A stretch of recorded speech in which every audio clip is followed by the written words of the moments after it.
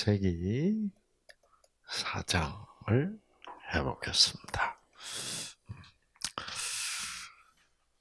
아, 아담이 그 아내 아내와 어, 동침하여 어, 하와 아, 그래서 어, 여자가 그 이브가 잉태하여 가인을 낳았다.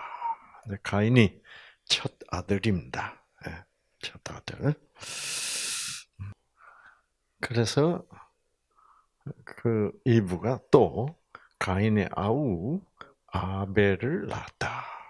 아, 아벨은 양치는 자였고 어, 가인은 농사하는 자였더라. 세월이 지난 후에 가인은 땅의 소산으로 제물을 삼아 여호와께 드렸고. 아벨은 자기도 양의 첫 새끼와 그 기름으로 어, 여호와께 제물을 드렸더니 여호와께서 아벨과 그 제물은 받으셨으나 가인과 그 재물은 받지 아니하셨다. 예, 여기에 가인이 열받았다. 이제 이렇게 돼 있어요. 음. 음.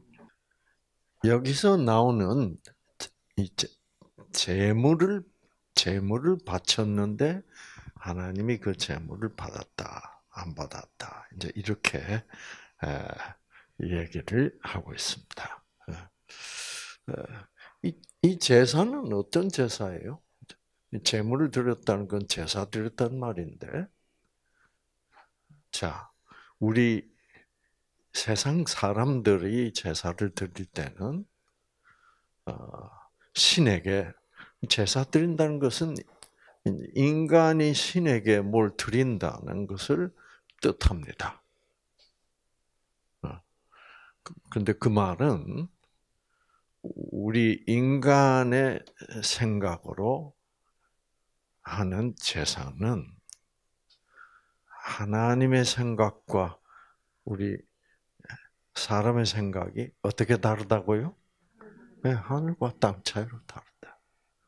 그럼 그거는 인간이 인간의 생각대로 우리가 물을 갖다 바쳐야 재물을 갖다 바치면 하나님이 우리에게 복을 주실 것이다. 라는 것이 우리 생각의 제사예요. 어, 하나님의 생각의 그 제사도 같은 걸까요? 예, 하늘과 땅 차이로 다릅니다. 예. 어떻게 달라요? 자, 우리들의 제사는 조건적 신에게 드리는 제사예요. 잘 갖다 바치면 갖다 바치면 아 이제 하나님이 잘 바춘다. 안 바치면 네, 또는 잘못 바치면 혼난다. 이런 제사를 상상하고 있어요. 아, 그래서 이제 그러면 하나님이 가인의 가인 가인과 보면 재물을 안 받았다 그러지 않고 아벨과 그 재물은 받으셨지만 누구와 누구는 뭐는 가인과 가인의 재물은 받지 않으셨다 이렇게 되어 있어요. 어? 그 무슨 얘기일까요? 그래서 이제 우리가 조건적으로 어, 생각하면서 성경을 해석하는 경우에 어떤 해석이 나오냐 하면 하나님이 원하는 재물은 양이었다. 그런데 가인은 그 양을 안 바치고 땅에서 나는 농산물로 바쳤다. 그래서 하나님이 안 받았다. 이제 이렇게 되면 어, 하나님은 완전히 조건적으로 돼버립니다. 아시겠죠? 근데 그런 식으로 많이들 오해하고 있어요. 아시겠죠? 네. 재물은 양을 바쳐야 되는데. 네. 그러면, 어, 양만 안 받으면 되지. 어, 아니, 저, 농산물만 안 받으면 되지. 왜, 어? 농산물을 바친 가인까지도 안 받아들이느냐. 어. 그래서 우리 인간과 하나님의 관계를 인간은 바치는 존재고 하나님을 받는 받으시는 분으로 그런 관계를 우리 사람들은 생각하고 있어요. 그러나 성경은 하나님과 우리의 관계를 전혀 거꾸로 얘기하고 있습니다. 아, 아, 인간이 받아야 되는 거야. 하나님은 주시는 분이야. 아시겠죠? 그래서 이, 이 성경에 나오는 제사는 아, 뭘 얘기하고 있느냐 하면 아, 하나님이 주시는 분이고 너희 인간은 뭐예요? 받아야만 되는 존재야. 아, 이거를 계속 기억하게 하는 그 어, 행사, 그 기념 행사가 제사예요. 근데 우리 인간은 거꾸로 생각한단 말이야. 어, 우리는 때가 되면 하나님께 반드시 갖다 바쳐야 하나님이 우리를 잘 봐줘. 네.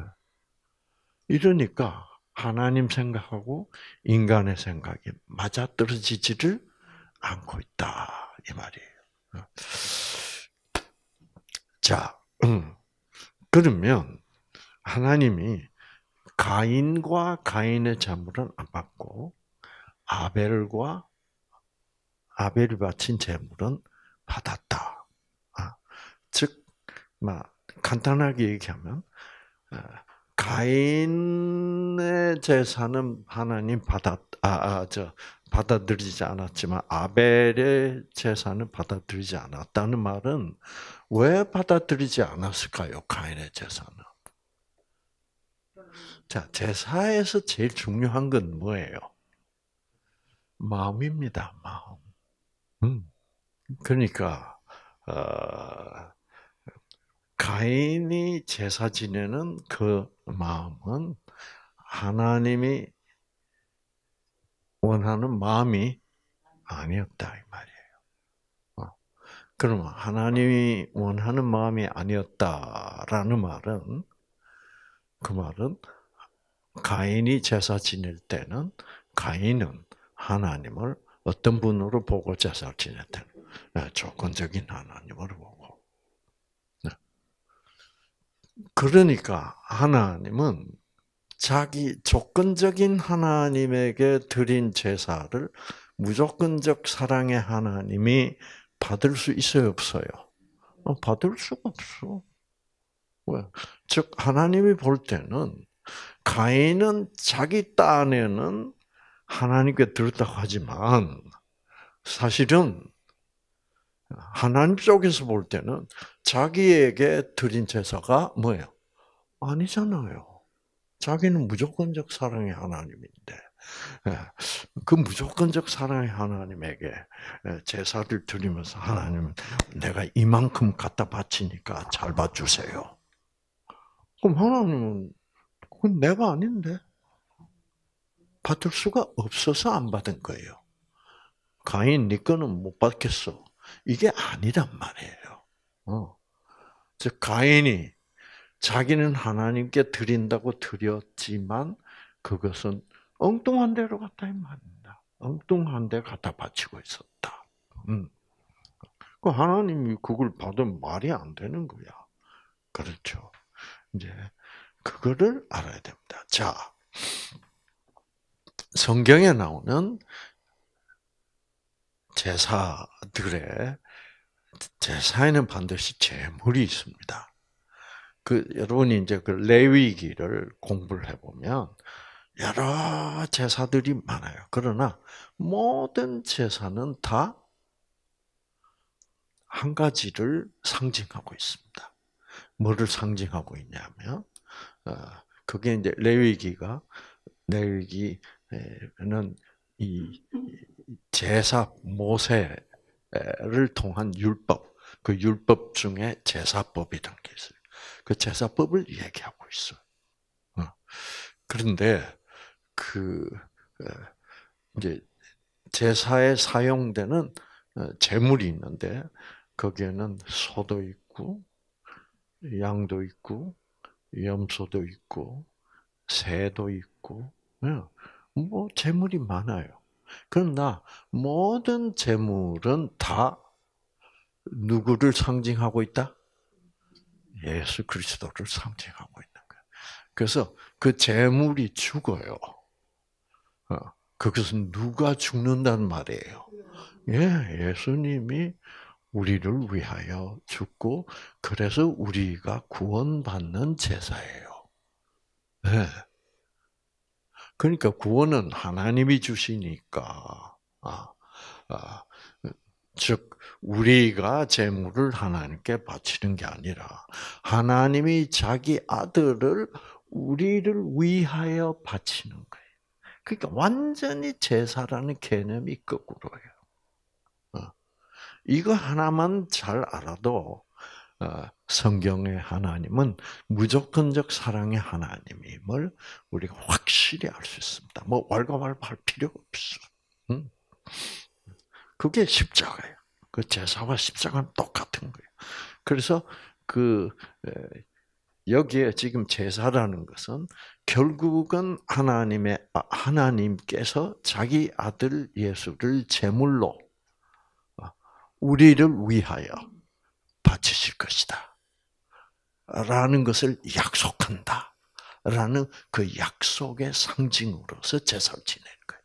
그래서 우리 인간들은 그 제사를 지낼 때마다, 아, 하나님이 자기 아들을 보내서 우리를 구원한다는 약속을 틀림없이 지킨, 지키시는 분이다. 감사합니다. 이러고 제사 지내요. 네. 세상에 이런 제사가 어디 있어요? 그렇죠? 그러니까 성경 무조건적 사랑의 하나님을 믿지 않으면 모든 제사는 전부 신이시여 받으시옵소서. 우리 있는 거 어, 정성을 다해서 가져와 삼나이다. 이거 받으시고 복 주세요. 라는 구걸 행위다 이 말이야. 인간의 제사는. 성경의 제사는 하나님의 약속입니다. 아, 너희를 너희 모두를 내 아들을 희생시켜서 너희 모두를 구원하겠다라는 약속이단 말이에요. 그게 제사가 완전히 다른 거예요. 그런데 가인, 아, 아벨과 아벨의 제사는 받아들였다는 말은 아벨은 그런 제사라는 것은 이런 뜻이다. 라는 참된 의미, 무조건적 사랑, 그리고 내가 이 제물로 드리는 양은 이게 바로 하나님의 아들 예수를 상징하는 것이다. 라는 것을 알고 그 드리는 제사 드리는 마음이 무슨 마음이에요? 아, 감사하는 마음이야. 네, 가인이 드린 제사는 뭐예요?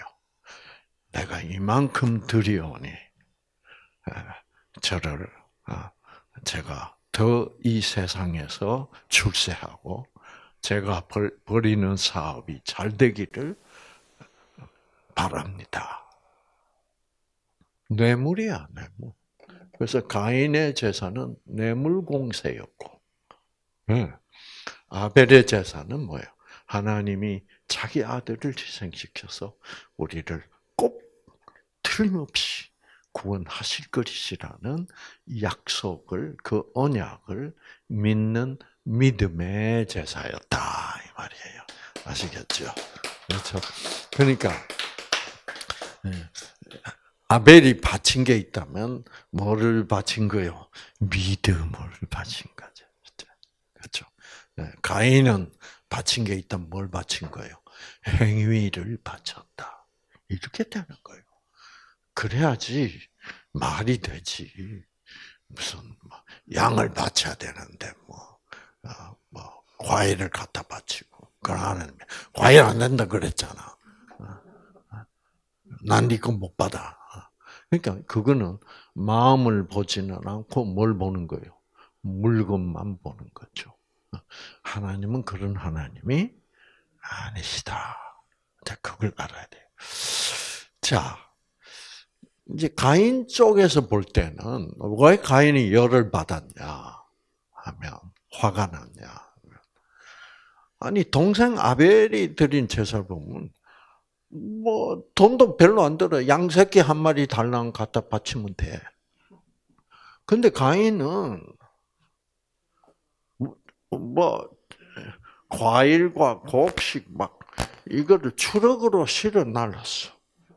그래서 막 온 교회 교인들을 다 먹이고 막 그래가지고 하나님 앞에서 뭐 한 거요? 폼탁 잡은 거예요. 그러면 교회에다가 막 교회 창고에다가 막, 막 쌀하고 막 그러니까 어, 교회에서 누가 인기겠어? 어, 가인이 인기고 이제 가인을 뭘로 뽑아줘야 되겠죠? 수석 장로님으로 뽑아줘야 돼요. 이제 그런 그런 그런 형태의 그 어, 생각을 어, 가인의 제사라고 그래요. 지금까지 여러분 참 참 안타깝게도 지금 많은 교회들의 그 제사가 누구의 제사다? 가인의 제사다라는 것. 네. 그런 것을 또한 우리는 요즘 말로 기복신앙입니다. 내가 이거를 갖다 바치니까 복 많이 주세요 하는. 네. 네. 그래서 이것이 인간의 조건적인 근성이었다. 그래서 어, 아벨은 성령의 음성을 듣고 아 이렇게 믿음을 예수 그리스도의 구원에 대한 믿음을 가지게 되었다라는 얘기예요. 아시겠죠? 이 점에 대해서 아, 의문 있습니까? 그 이것부터 확실하게 구분을 지어 놓고 우리가 이제 봐야 됩니다. 그러니까 가인은 제사에 대한 그 관념을 생각을 누구로부터 들은 거예요? 그렇죠. 사단의 음성을 들은 거예요. 하나님은 많이 갖다 바치는 사람일수록 좋아해. 그리고 복을 줘. 그게 이제 사단의 가르침을 받아들인. 그래서 가인의 모든 사고 방식 생각은 철저히 사단이 가르치는 조건적 사고 방식이었다. 그래서 많이 갖다 바치지 않으면 뭐예요? 벌 주실 거예요. 자, 그런데 여기 이제 아벨의 재물은 연락하셨다. 아벨과 그 재물은 연락하셨고 그 자기 재물은 어, 가인 자신과 재물은 연락하지 않았다는 것을 가인이 안 것 같아. 그렇죠? 어떻게 알았을까? 하나님이 가인 네가 바친 거나 못 받겠어. 그런 것도 아니거든요. 그건 뭐냐면 아, 아마 가인과 이때 가인과 아벨의 나이가 뭐 500살, 어, 600살 됐을 때예요. 아시겠죠? 그 많은 사람들이 초보 성경 초보자들이 이런 질문을 합니다. 아니 그때 가인하고 아벨하고 둘이밖에 없었는데 뭐 여기 성경 조금 이제 읽어보면 그때 많은 사람이 이 지구상에 살았다는 이제 그런 정황이 포착이 됩니다. 어, 어떻게 그렇게 많은 사람이 있었습니까? 어, 많은 사람들이 가인을 보고 저 동생 죽인 놈을 우리가 가만둘 수 없어 죽여야 돼 이러고 있었다. 그, 그 많은 사람들이 어디서 온 사람들입니까? 그거는 가인과 아벨이 태어나자마자 그랬다면 그런 질문이 가능해요. 그러나 몇 년이 지났다고? 500, 600년이 지난 후입니다. 아시겠죠? 그러니 그동안에 예, 사람은 예, 그래서 아, 아담과 이브가 가인과 아벨만 낳은 게 아닙니다.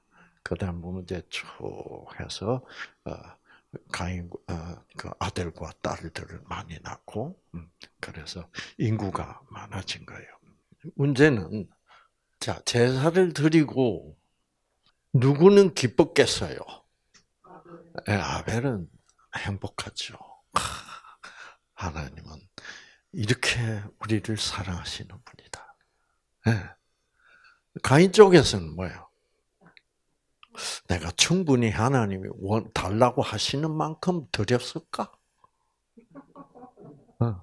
사실 가인은 그날 재물을 갖다 바칠 때 예, 과일을 아, 백상자를 갖다 바치려고 그랬는데 막 조금 아까워서 50상자만 바쳤어. 그래 놓으면 즐거워요, 안 즐거워요? 안 즐거워요. 음.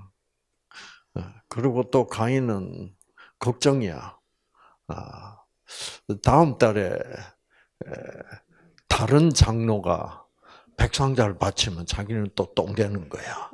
어. 이제 그런 가인의 제사를 지내면 그 행위주의로 그렇죠. 하나님께 아부하고 뇌물을 바치는 그런 신앙을 하면 사실상 영적 행복감은 있을 수 없다. 이제 이런 얘기입니다. 그 자기는 행복하지도 않아. 어. 그런데 어, 달랑 양새끼 한 마리 바친 아벨은 아주 행복해. 네. 네. 이제 이런 영적인 경험을 어, 순수한 영적인 경험을 이제 못 하는 거예요. 그리고 이제 또 더 큰 문제는 뭐냐면 여러분 지금도 교회 가면 이제 장로님들이 성경을 가르치잖아요. 그렇죠? 평신도들을 어, 어, 그래서 이제 뭐 이렇게 반을 나눠 가지고 뭐, 뭐 김장로님 반, 박장로님 반 이렇게 해서 나눠 가지고 평신도들을 이제 가르쳐요. 어, 가르치는데 아벨 장로 반생들은 항상 행복해. 그렇죠? 네. 왜 무조건적 사랑 하나님을 아, 벨 장로님으로부터 배우니까 얼마나 어, 여러분처럼 싱글벙글 하겠어요. 그런데 가인 장로 반 평신도들은 맨날 엄숙해. 네. 이제 그런 양상이 같은 교회 안에서 벌어지기 시작했다. 네. 그러니 이제 평신도들 간에는 어, 다른 반 평신도들이 아벨 장로님 반 평신도들이 너무 행복하니까 너희는 왜 그렇게 행복해? 그러니까 이제 어, 아벨 장로한테 잘 무시 어, 무조건적 사랑의 하나님을 잘 배운 평신도들이 이제 어, 우리 아벨 장로님이 가르치면 우리도 너무 기뻐. 유전자가 막 켜지는 것 같아. 어, 이제 이렇게 된 거야. 아시겠죠? 어. 그러니까, 아, 이제, 가, 가인 장로 측에서 볼 때는 이제 이제 아무 조건 없이 구원을 주신대. 근데 가인 가인 장로는 그걸 받아들일 수 있었어요. 많이 갖다 바쳐야 주지 구원을. 그래서 가인 장로 측에서는 아벨 장로의 그 무조건적 사랑을 가르치는 그 가르침이 어떻게 틀렸다고 생각합니다. 그건 지금도 마찬가지입니다. 예수님 당시도 마찬가지. 예. 이 성경의 역사, 세상 역사는 그 조건적 사단이 주장하는 조건적 신과 무조건적인 예수님의 투쟁입니다. 예. 그 지금도 그게 흘러내려오고 있다. 의학도 그렇게 나눠져 있죠. 돈 아주 좋은 병원, 어? 대학병원 중에서 최고의 대학병원, 그 최고의 의사들로부터 어, 받으면 좋은 치료를 받을 수 있다. 그런데 아무리 좋은 치료를 받아도 병은 낫나요, 안 낫나요? 어, 그렇죠. 유전자는 회복 안 되거든. 어. 진짜 최고 의사는 누구요? 하나님이란 창조주라는 의사로부터 우리가 받는 생기가 있어야지. 그렇죠. 그래야 유전자가 회복. 음. 음. 그러니까 지금 현대의학은 뉴스타트를 볼 때 어떻게 볼까요? 돌팔이. 음, 말도 안 된다. 네. 이렇게 돼 있는 거예요. 그 당시 예수님이 이스라엘에 오셨을 때도 급하네요. 예수님은 말씀으로 병자를 고치는데, 네. 유대인들은 그렇게 생각하지 않는 거예요. 네. 자, 그래서 이제 왜 죄를 많이 지었으면 하나님이 그런 병으로 벌 줘야지. 이렇게 생각하고 있는 거예요. 완전히 하늘과 땅 차이로 생각이 달랐다. 이 말입니다. 음. 자. 그래서 이제 가인이 분하게 생각하고 열을 받았어. 그래서 여호와께서 가인에게 이르시되, 네.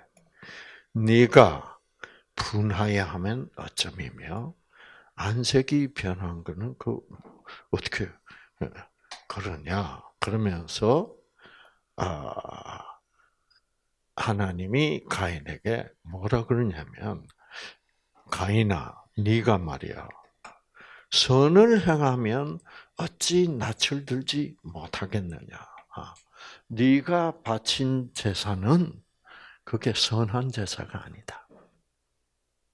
이 말이야. 그거는 악한 제사다. 뭐 악한 제사란 말은 뭐예요? 이기심과 욕심의 제사지. 그렇죠? 어. 그러니까 그리고 하나님을 어떻게 하나님 자신의 자체를 어떻게 보는 제사요? 예, 하나님 자체를 이기심과 욕심의 하나님으로 보는 거예요. 왜? 갖다 바치라. 많이 바치는 놈복 많이 줄게. 그 이기적 욕심쟁이 하나님 아니에요? 그게 악하다 이 말이에요. 그건 선하지 않다. 아, 나를 무조건적 사랑의 하나님으로 보는 그것이 진짜고 그게 맞는 거고 그것이 선한 것이다. 음. 그래서 가인아 네가 선을 행한다면 어, 행복하게 얼굴을 어, 들고 웃으면서 지낼 수 있는데 너는 어, 너는 그 선을 몰라 아직도 하나님의 무조건적 사랑이 선이죠. 어, 그 선을 너는 행치 아니하고 있다. 즉 나를 하나님을 조건적으로 보고 제사도 조건적인 제사를 드리고 있다. 그렇게 하면 죄가 문에 엎드리느니라. 자, 죄가 문에 엎드린다는 말은 재밌는 말입니다. 그러니까 가인이 이런 어, 그런 제사를 조건적인 제사를 드린다는 것 자체가 죄다 이 말이에요. 어. 그래서 음. 자, 제고 어, 그렇게 제사를 드리고 있을 때는 그런 그 사람들은 누구의 지배를 받고 있는 사람들이다? 예, 예, 사단의 지배를 받고 있다. 그 이제 사단의 별명이 죄입니다. 아직 그 죄가 문에 엎드린다는 말은 사단은 너를 비밀리에 하나님인 척하면서 너를 지배하고 있는데 결국 사단의 목적은 뭐다? 너를 넘어뜨리는 거다. 어, 어, 너를 넘어뜨려서 하나님과 어떻게 완전히 멀어지게 하는 것이 사단이 지금 작전이다. 아, 그래서 문에 그래서 그 작전으로 어, 사단은 문에 엎드리고 있다. 자, 우리가 집을 드나들려면 문이 있잖아요. 문을 통과해야 돼. 그 이제 문에 엎드리고 있다는 말은 문을 통과할 때 어떻게 들어가고 나갈 때 어, 너를 넘어지게 하려고 어, 네가 살아가는 동안에 너를 넘어지게 하려고 지금 사단은 획책하고 있다. 그래서 하나님은 이런 말을 가인에게 해, 해 드리는 이유가 뭐예요? 가인이 제발 그 사단에 속아서 음, 완전히 넘어지지 않도록 그리고 자기를 떠나지 않도록 지금 지금 그 정보를 알려주는 거예요. 어, 사단이 개입이 돼 있다. 어, 그래서 부디 속지 말라. 이제 이런 얘기야.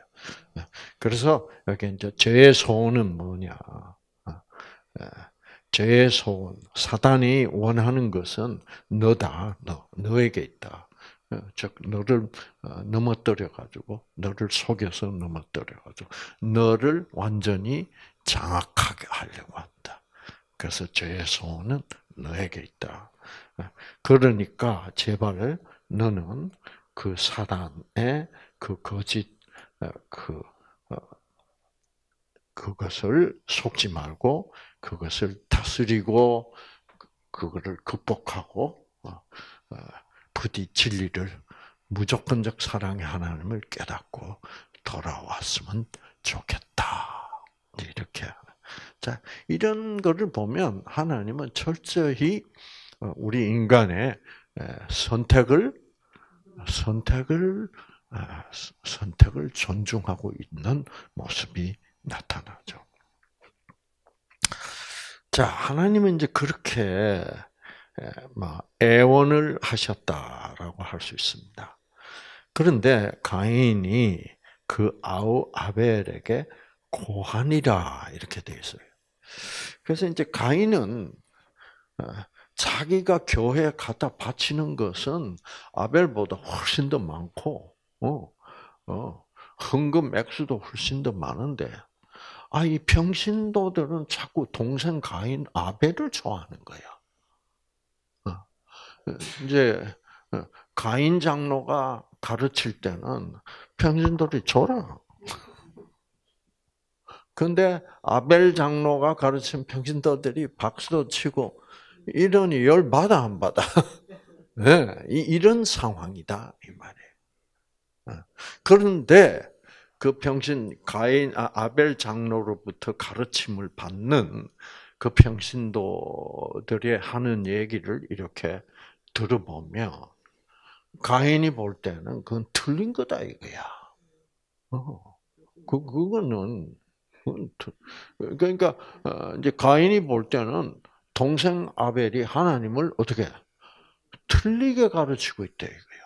그렇게 가르치면 교인들이 어떻게 될까? 가인의 생각대로 하면 지 마음대로 살고 어, 어, 어 하나님 무조건적 사랑이 그려놓으면 어, 예, 죄를 더 질 거다 이렇게 생각하는 거예요.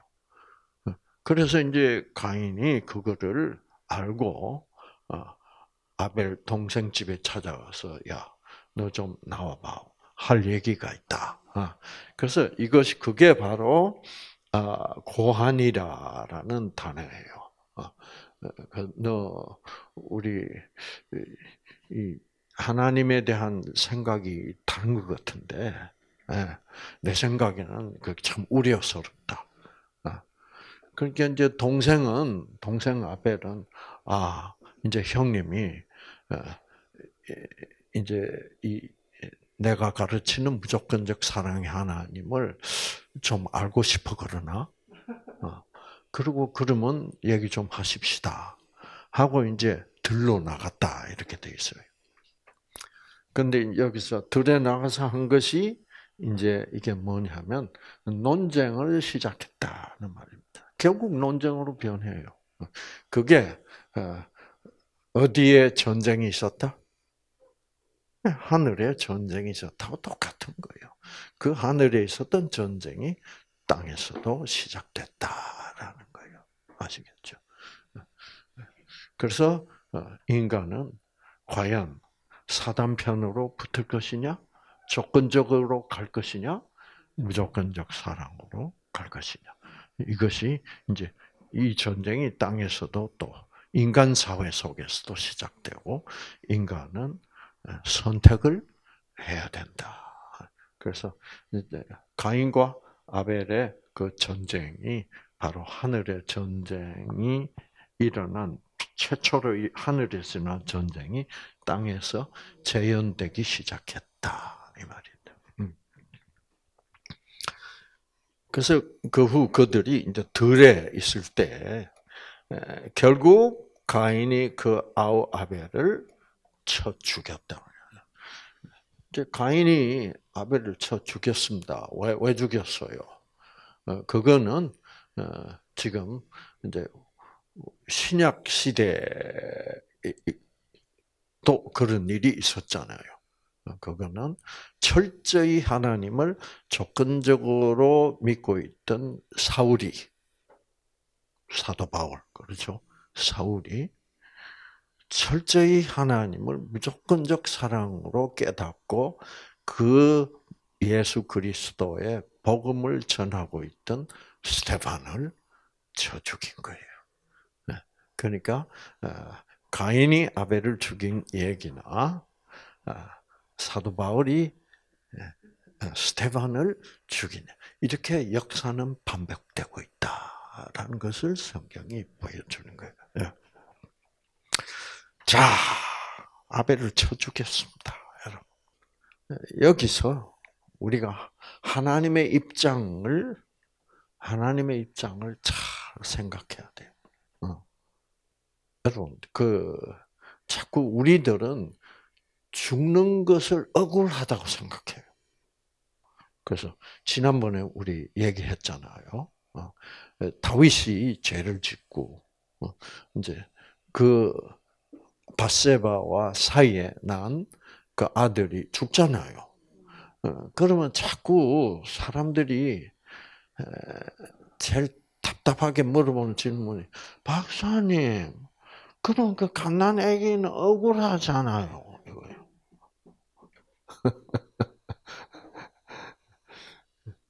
사실 예, 그러나 다윗은 뭐라 그래요? 그 아기는 천국에 갔다. 음. 그러면 그거는 억울한 게 아니에요. 그 아기는 하나님 나 하늘나라에 먼저 갔다는 특권이지. 그거를 자꾸 그러니까 이제 죽는다는 것은 억울한 것이다 이렇게 조건적으로 생각해. 그리고 오래오래 사는 것이 복이다.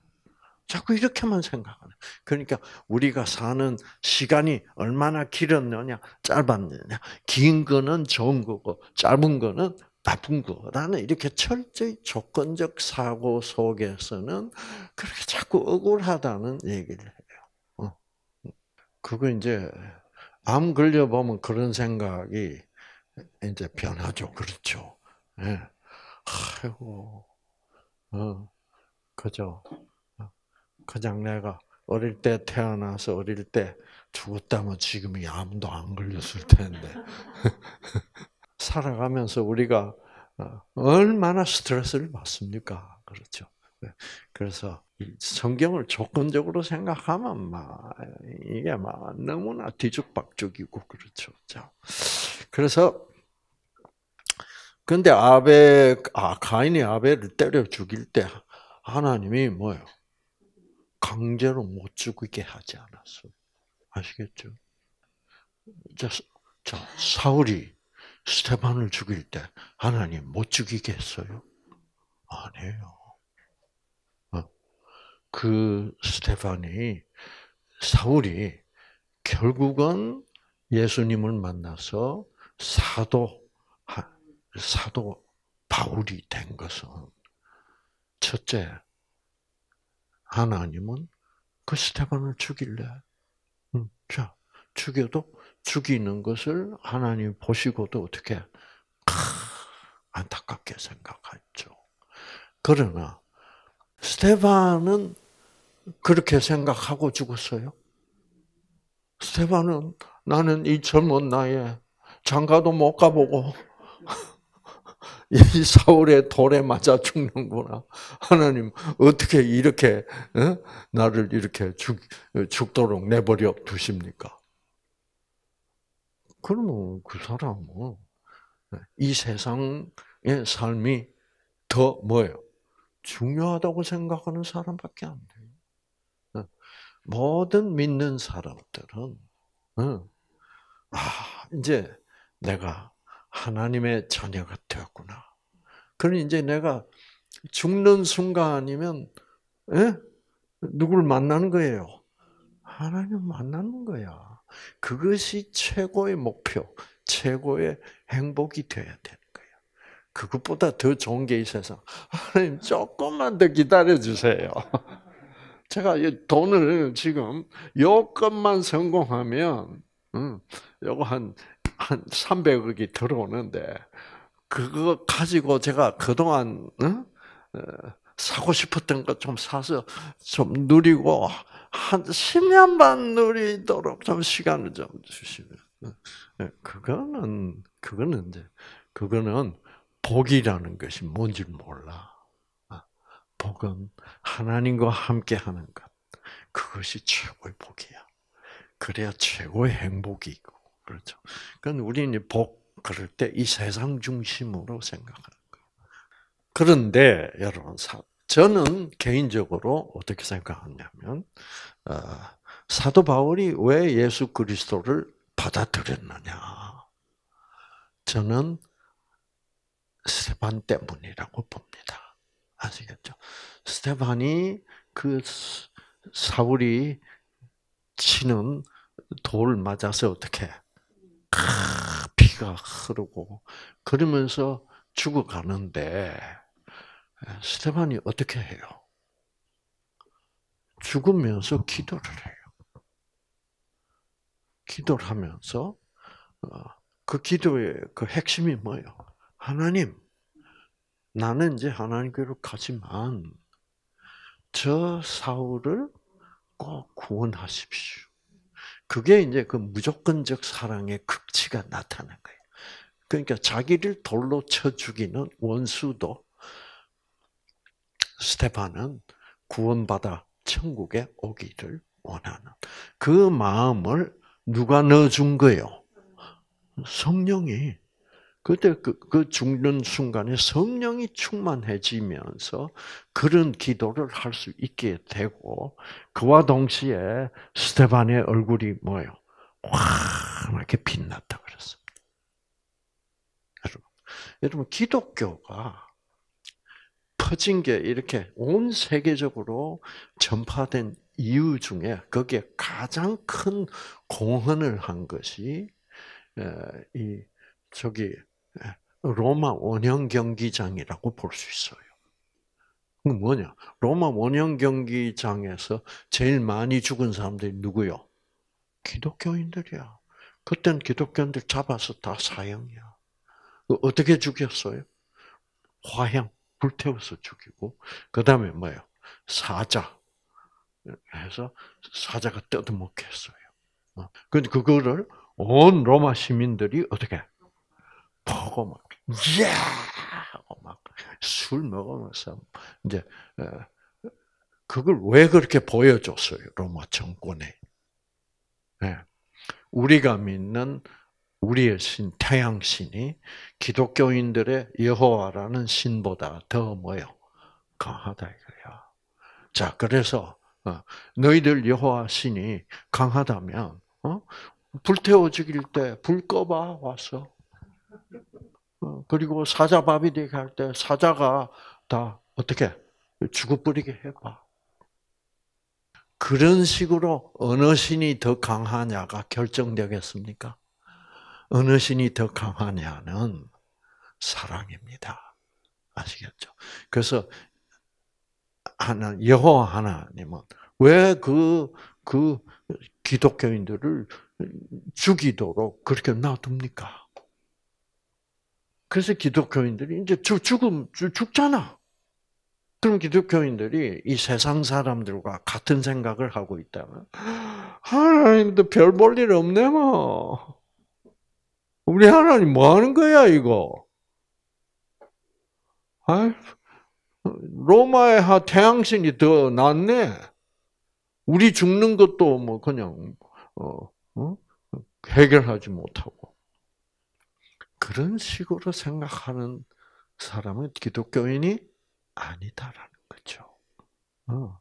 기독교인은 이 성령 무조건적 사랑의 하나님의 영을 받으면 우리는 원수도 사랑할 수 있고 용서할 수 있는 나를 죽이는 사람들까지 어떻게 원망하지 않고 그 사람들조차도 하나님을 결국은 만나서 천국에 올 수 있도록 기도하는 사람으로 만들어 주는 그런 놀라운 하나님을 믿어요. 그런 하나님. 네. 그래서 죽는 것을 허락하는 겁니다. 아. 그래서 기독교인들 다 이제 그 원형 경기장 그 지하에 감옥이 있었잖아요. 네. 거기서 기도 다 하고 그러면 하나님이 성령 주시간 주시간 주시면 예? 그 지상으로 탁 나올 때는 스테반처럼 그 기독교인들의 얼굴이 뭐요? 확 내려서 나오면서 찬송을 부르면서 나온다 이 말이에요. 정신이 좀 든 로마 시민들은 그걸 보고 경악하는 거예요. 어떻게 저럴 수 있지? 죽음을 앞둔 사람들이. 그러나 이제 정신 없이 하하하 막 술 마시고 그래 너희들 말이야 뭐 여호와 예수를 믿는다고 어? 어? 그러면 너희들 죽지 않게 해봐. 그러면 이제 불태 불태운다. 그러면 막 그거 보고 자 너희 예수가 와서 불 꺼라 그래봐. 하 웃기고 있네. 너희 신들은 아무것도 아니야. 이런 정신없는 로마 시민들은 그거를 보고 즐기고 그 사람들은 완전히 뭐요? 사단 들린 사람들이야. 그렇죠. 그러나 정신이 좀 믿는 사람들은 이 사람들이 믿는 하나님은 다르네. 어떻게 사람을 이렇게 죽음 앞에서 평화스럽게 만들 수 있을까? 우리 우리가 믿는 태양신은 이거 못해.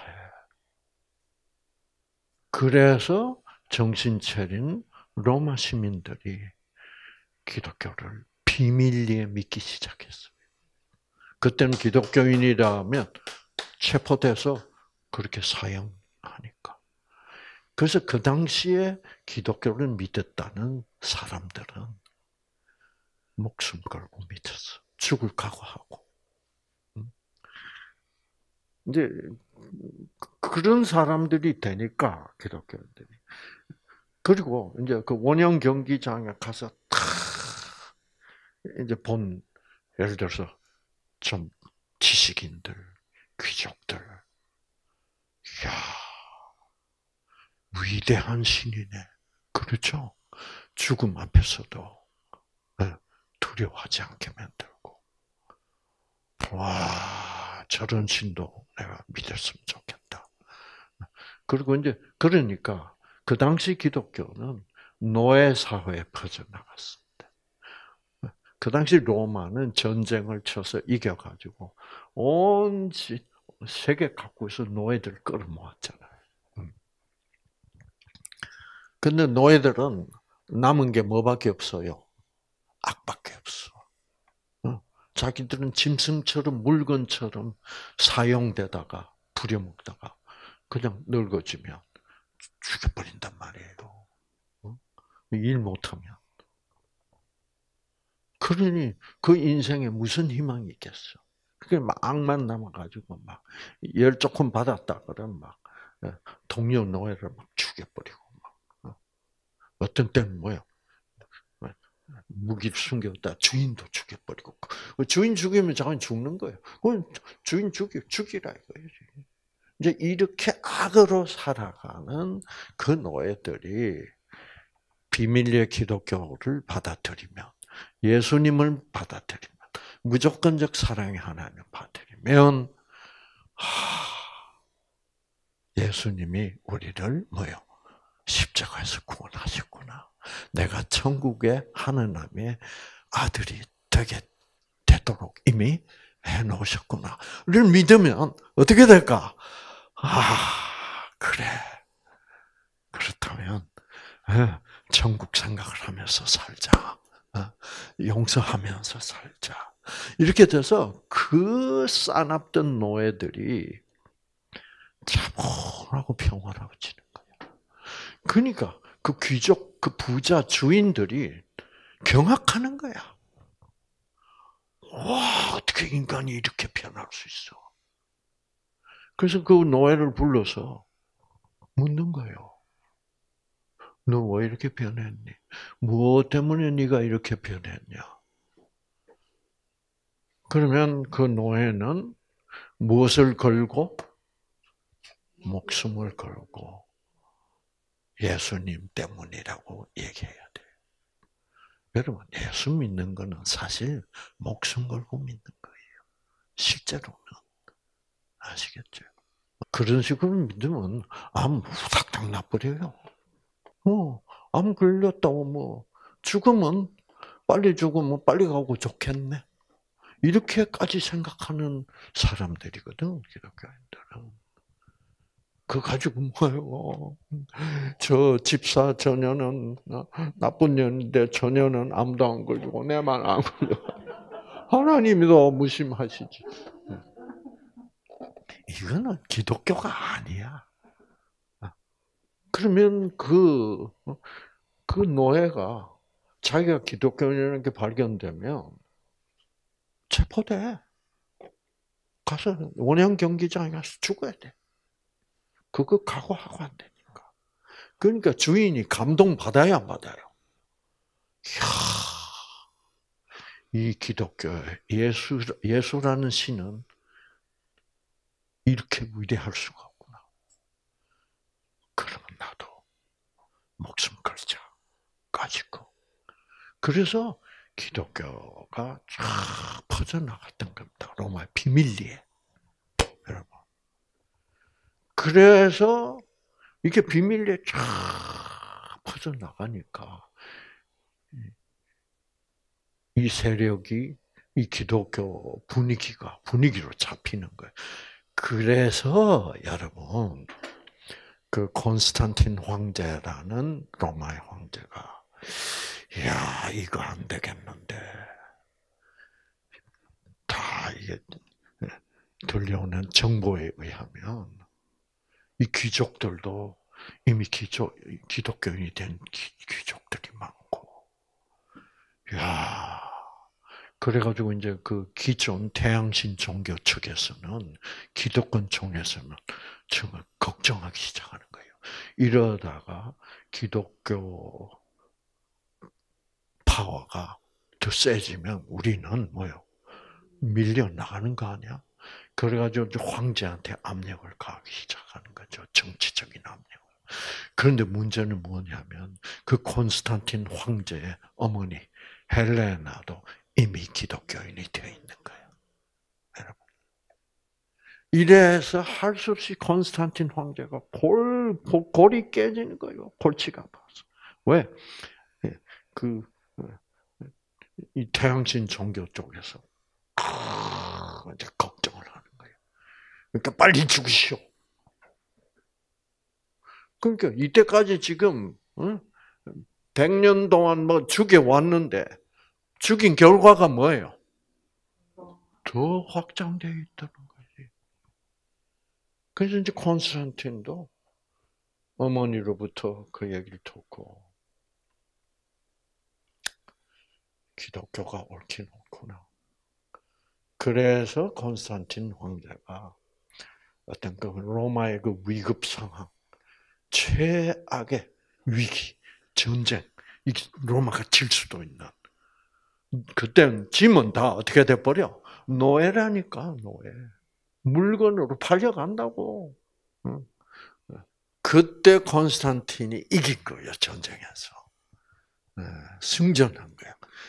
그 기회를 이용해서 콘스탄틴이 내가 이 전쟁에 승리한 것은 예수 그리스도 때문이었다. 네, 이래가지고 구라를 쳐버린 거야.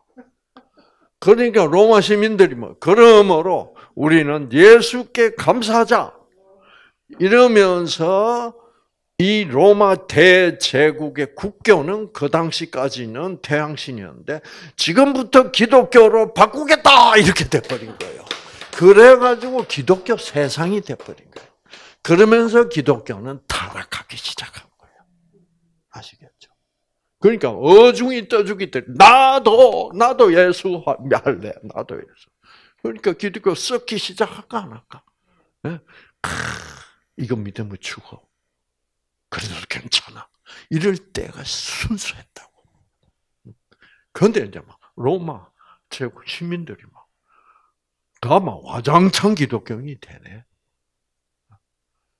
이러니까 조건적인 생각이 그대로 기독교 안에 들어와가지고 순수한 무조건적 사랑의 기독교를 다 뭐예요? 꾸정물로 만들어 버린 계기가 되었다 이 말입니다. 그래서 이 세계 역사를 깊이 봐야 돼.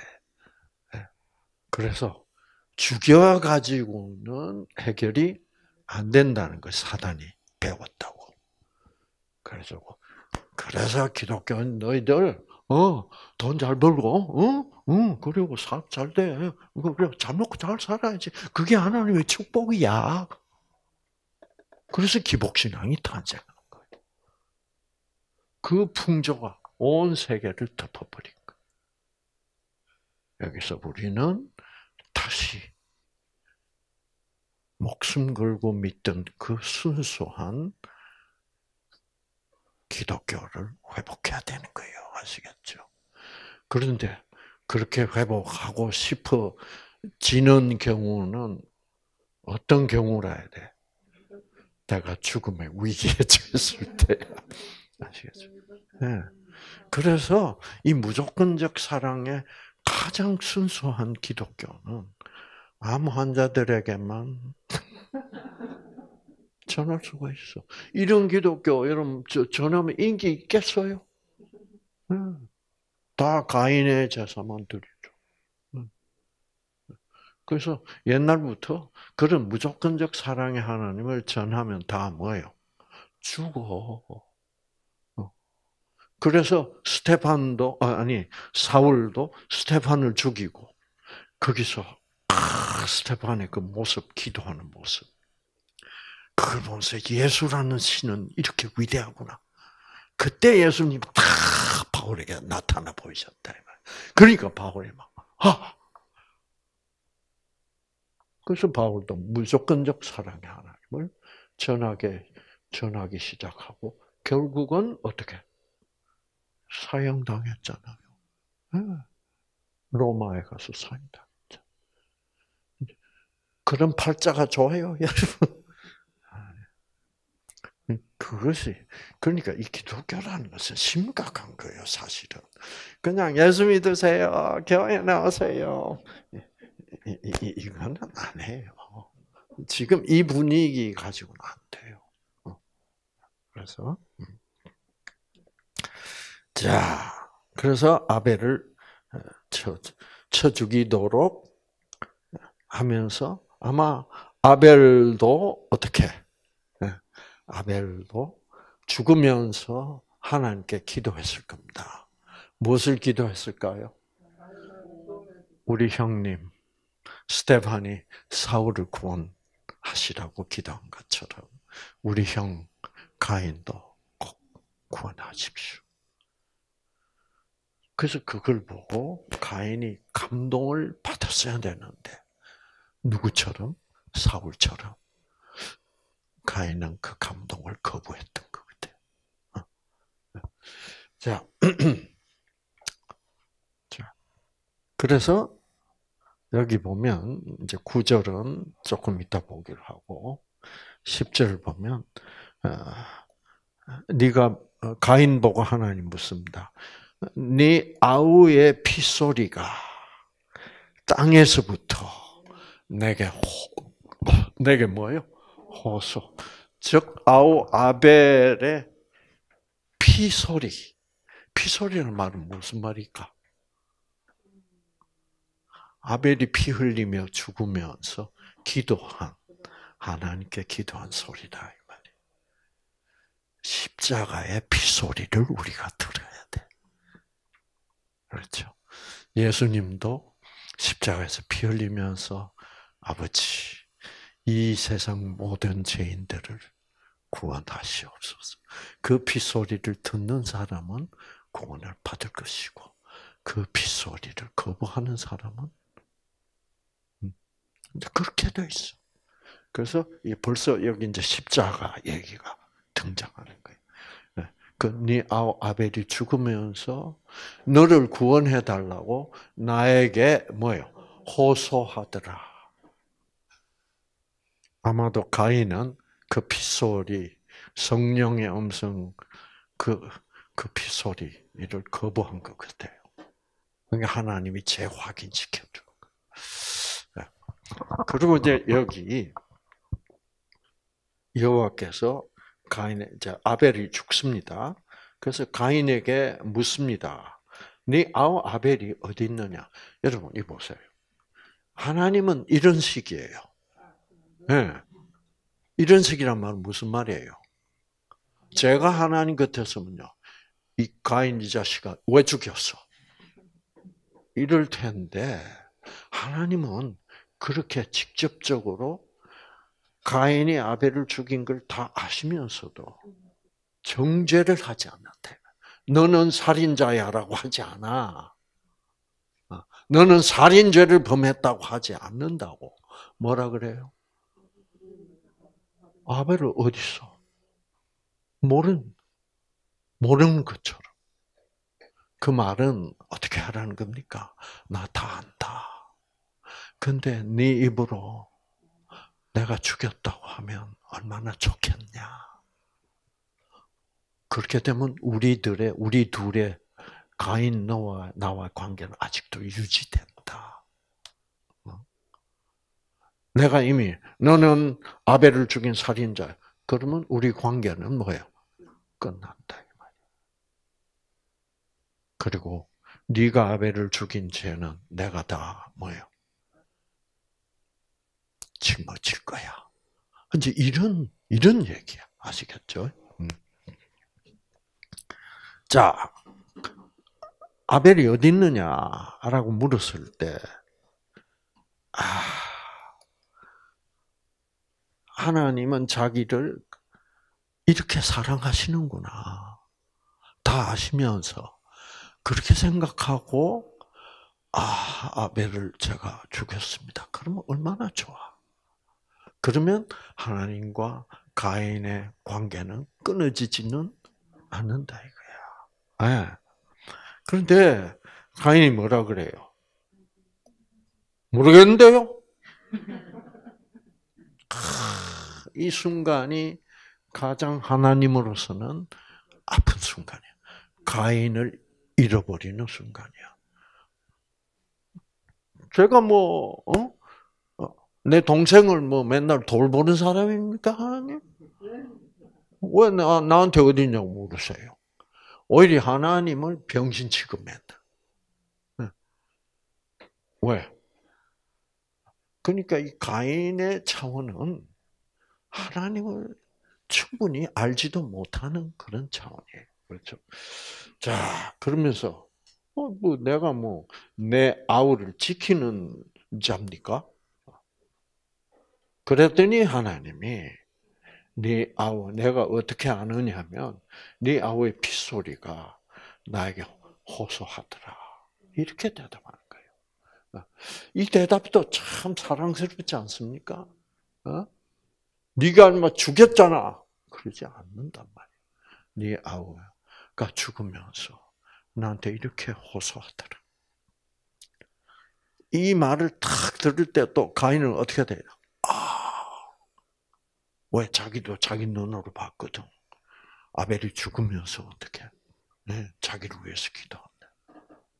그때 깨달아야 되는데 그 무조건적 사랑을 깨달아야 되는데 거부해버린 거야. 어. 그래서 땅이 그 입을 벌려 네 손에서부터 네 아우의 피를 받았다. 네, 여기서 땅이 입을 벌려 네 아우 아벨이 흘리는 피를 받았다. 라는 말은 땅이 입이 있습니까, 여러분? 네. 그러면 땅이 입을 벌려.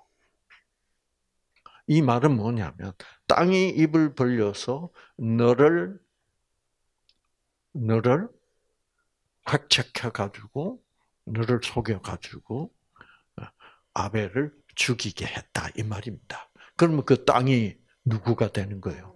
어, 사단이 되는 거예요.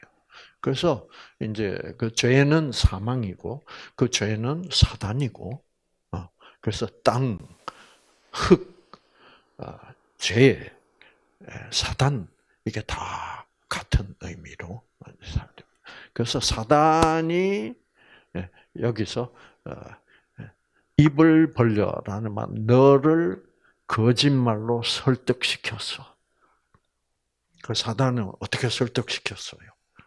아벨처럼 하나님을 무조건적 사랑으로 가르치면 교인들이 다 뭐예요? 망나니들이 될 것이다. 어, 지 마음대로 살고. 그러니까 교인들을 조건적으로 사랑해서 벌 줄 놈은 뭐예요? 벌 주고 그래야 된다. 그러니까 어, 가인 보고 사단이 하는 말이 아벨을 죽여라. 누구를 위하여 죽여라?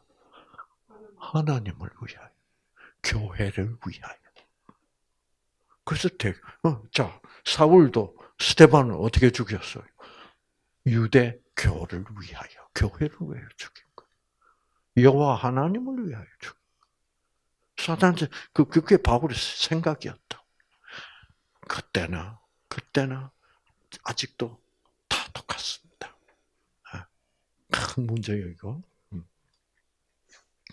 자, 그래서 사단이 내 아우를 왜 사단은 아벨 같은 사람을 오래 살려놓으면 안 되잖아.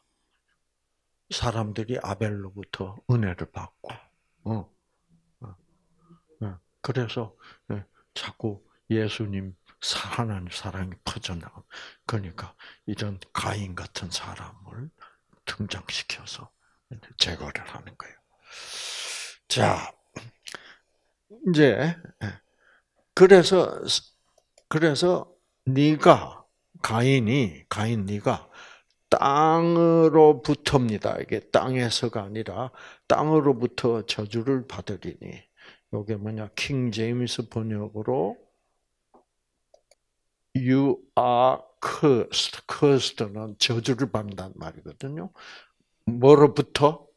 from. 뭐로부터? 땅으로부터 저주를 받는다. 즉 사단으로부터 저주를 받는다는 거예요. 아시겠죠?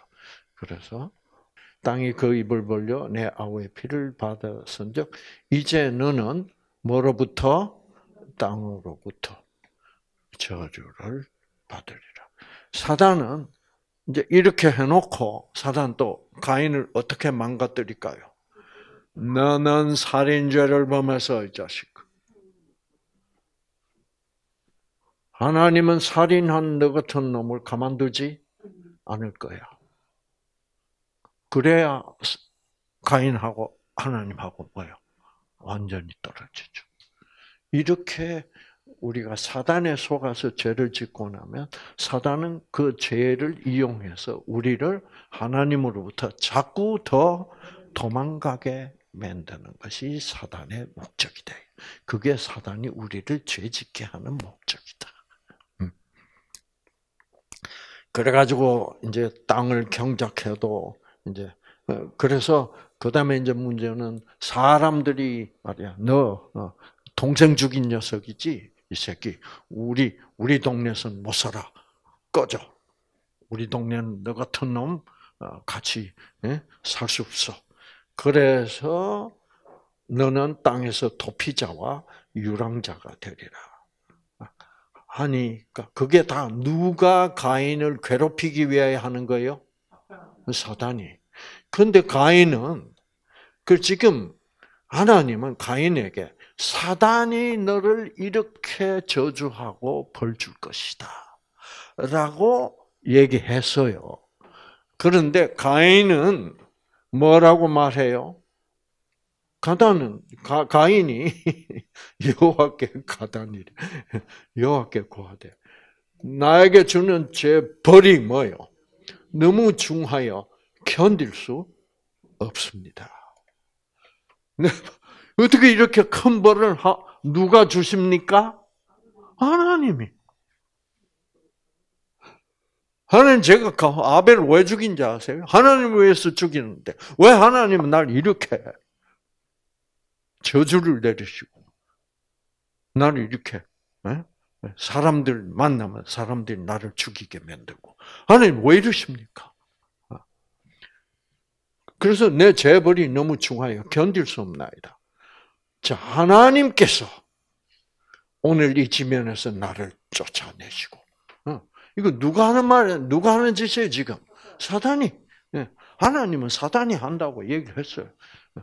자, 하나님이 오늘 이 집에 나를 쫓아내니까 내가 더 이상 하나님의 얼굴을 배웁지 못하니까 이제 예배도 못 드리겠네요.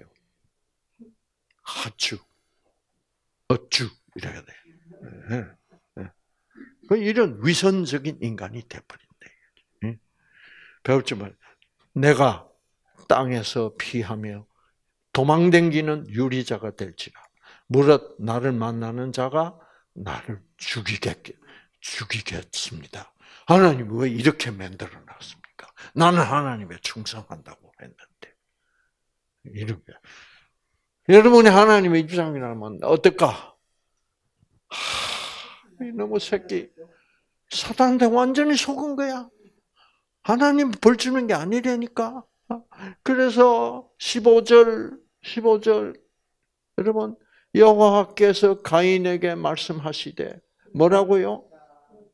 그렇지 않다. 이게 좀, 좀, 그냥, 여호와께서 그에게 있을 때 그렇지 않다, 가인. 그냥 이렇게 밋밋하게 써놨어. 이 말이야말로 하나님이 가인을 사랑하시면서, 가인아! 어? 제가, 어, 하나님이 경상도 사람이라 치고 한번 해볼까요? 이 자식아, 가인아. 그게 아니라, 가인! 그렇지, 뭐요? 그렇지 않다라고 얘기하는 거예요. 그렇지 않아. 그래서 본래 이게 잘 번역하면 이렇게 번역해야 돼요, 여러분. 뭐라고요? 그렇지 않답니다. 이게. not 뭐요? 아니다. so 네가 말하는 대로 그렇지가 않다고 가이나. 그러면서 뭐가 있어 여기? 네? 느낌표. 하나님이 소리쳤다. 그게 아닌 얼마나 답답했으면. 좀 우리 한국말도 이렇게 뭐 해놓고 여기에 다운표, 코테이션 마크도 있고. 본래는 이렇게 돼 있어요, 성경이. 예.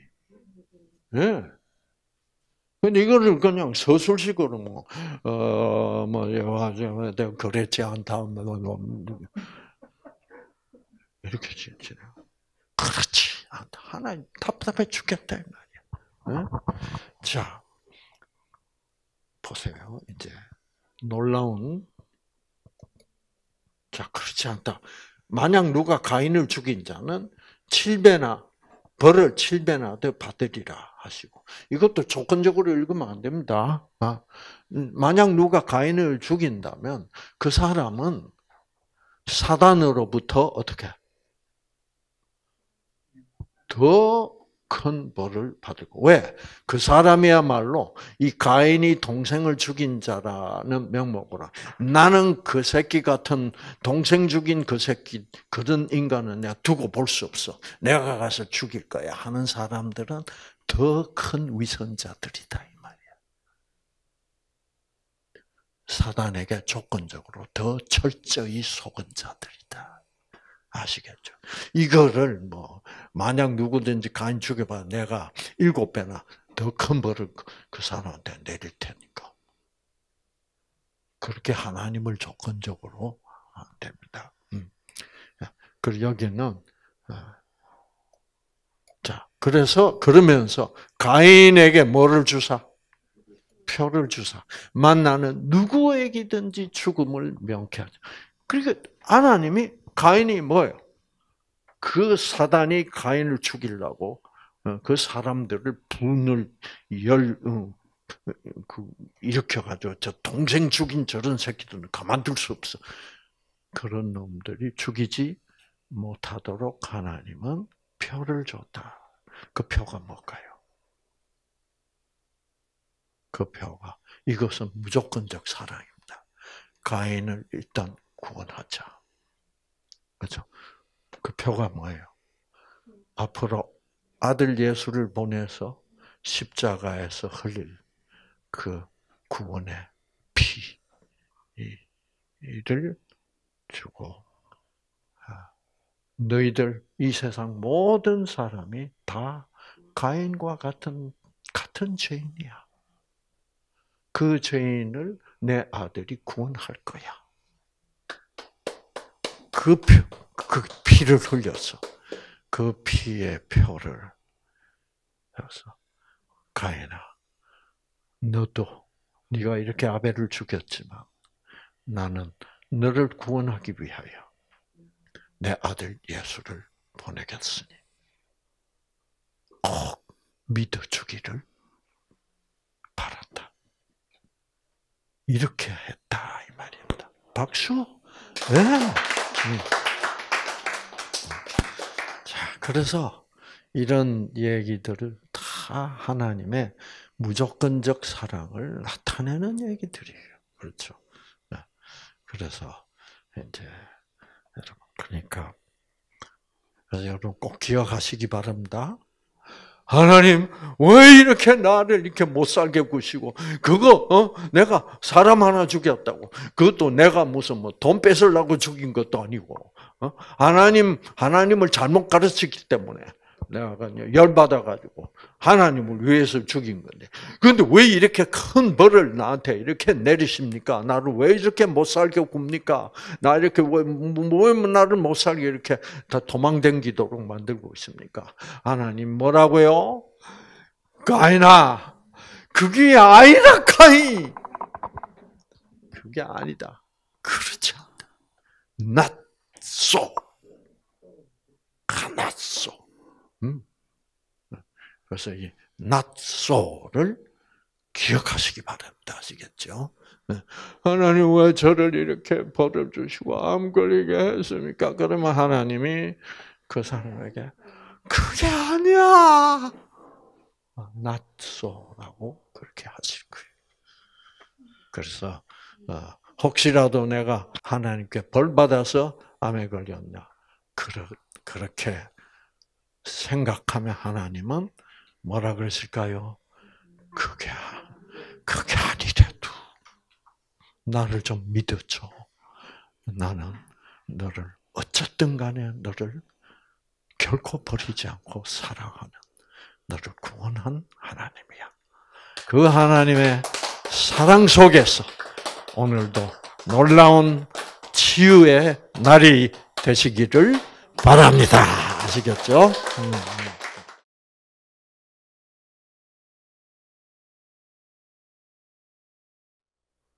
오늘 또 내일도 또 모레도 또 다음 주도 다음 달도 다음 해도 우리가 평생 기억해야 될 말.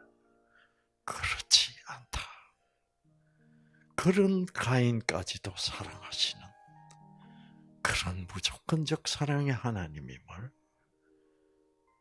정말 꼭 기억하면서 그 사랑으로부터 생기를 받아 치유되게 하여 주시옵소서. 예수님 이름으로 기도합니다. 아멘. 감사합니다.